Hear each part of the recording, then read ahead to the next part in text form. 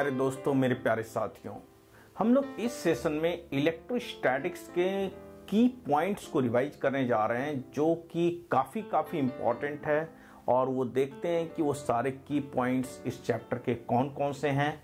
तो सबसे पहला की पॉइंट्स हमारा क्या है कि चार्ज जो है क्वांटाइज्ड होता है, और चार्ज की वैल्यू जो होती है Q equal to plus minus N होती है। तो इस बात को आपको ध्यान में रखना है। दैट मीन्स चार्ज जो एग्जिस्ट कर सकता है, या तो plus minus E plus minus two E plus minus three E plus minus four E इस तरीके से ही एग्जिस्ट कर सकता है। और इसलिए हम लोग कहते हैं चार्ज क्वांटाइज होता है। ई यहाँ पे इलेक्ट्रॉनिक चार्ज है, जिसकी value 1.6 point six into ten so minus nineteen coulomb होती है। आप पता है कि इलेक्ट्रॉन पे नेगेटिव चार्ज एग्जिस्ट करता है राइट एक तो ये बात हो गई।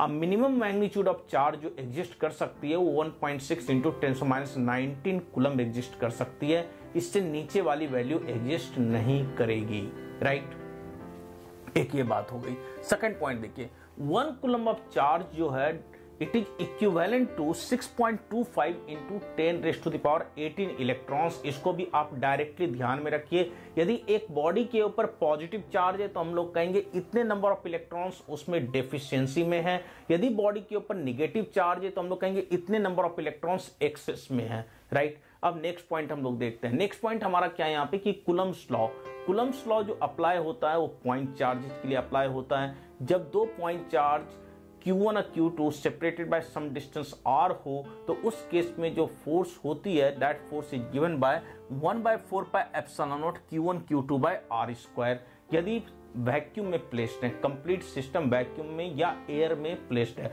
हम लोग एज्यूम करने जा रहे हैं कि वैक्यूम और एयर एक ही जैसी है।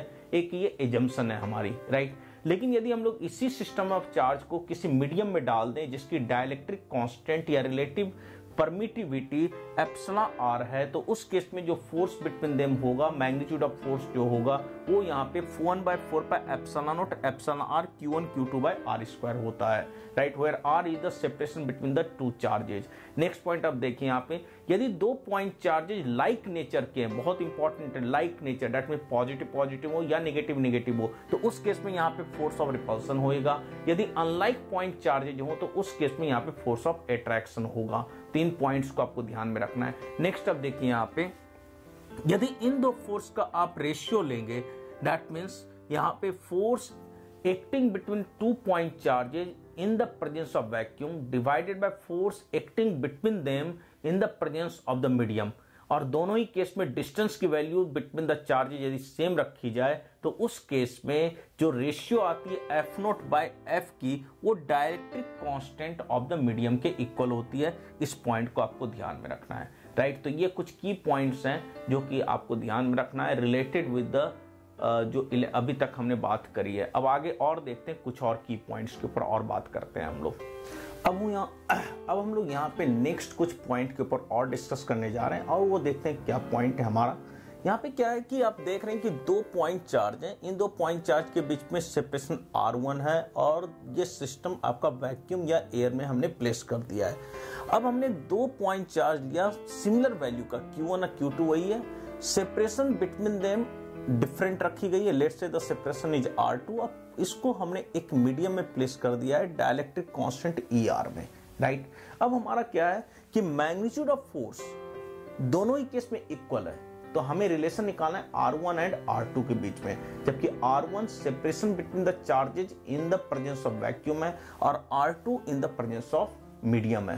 तो जब आप दोनों फोर्स को इक्वल कर देंगे तो आर वन की वैल्यू आ जाती है root over E R into R two right ये काफ़ी एक इंपॉर्टेंट रिज़ल्ट है। इसको आप रिज़ल्ट की तरह याद कर सकते हैं, याद रख सकते हैं। जब दोनों को इक्वल कर दीजिएगा तो आप देख ही रहे हैं कि पूरा कैंसिल आउट करने के बाद फाइनली जो separation between the charges vacuum में होएगा और जो मीडियम में होएगा, दोनों के बीच में जो रिलेशन होगा R one will be equal to root over E R into R two जहाँ पे ये डायलेक्ट्रिक कांस्टेंट है। तो सपोज़ मैंने एक ऐसे मीडियम में रख दिया जहाँ पे डायलेक्ट्रिक कांस्टेंट की वैल्यू मीडियम की फोर है फोर यूनिट है फोर है। तो उस केस में यहाँ पे जो separation between the point charges in the presence of vacuum होगा that will be equal to twice the separation between the charges presence in the medium बसरते दोनों चार्ज की जो वैल्यू होनी चाहिए इक्वल होनी चाहिए, या हम लोग कहें प्रोडक्ट ऑफ़ चार्जेज इक्वल होनी चाहिए, दोनों ही केस में राइट?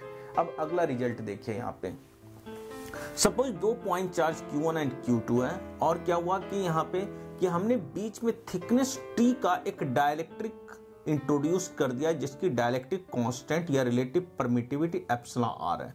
बाकी जो सेपरेशन बाकी जो देख रहे हैं, वो सारा एयर या वैक्यूम में है। और इन दोनों के बीच का डिस्टेंस जो है डी के इक्वल है राइट लेकिन थिकनेस टी का देख रहे हैं, एक स्लैब है, जिसकी डायलेक्ट्रिक कांस्टेंट देख रहे हैं आप एप्सला आर है, वो मैंने इंट्रोड्यूस कर दिया है।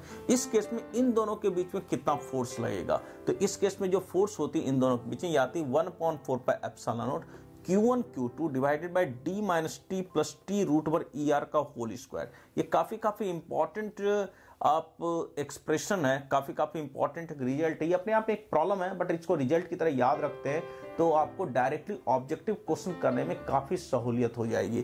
तो इस फोर्स की वैल्यू आपको याद रखना है। तो ये अभी तक हमने यहाँ तक इन सारे पॉइंट्स के ऊपर डिस्कस किया है। आगे और कुछ पॉइंट्स हैं जिसके ऊपर हम लोग डिस्कस कर रहे हैं।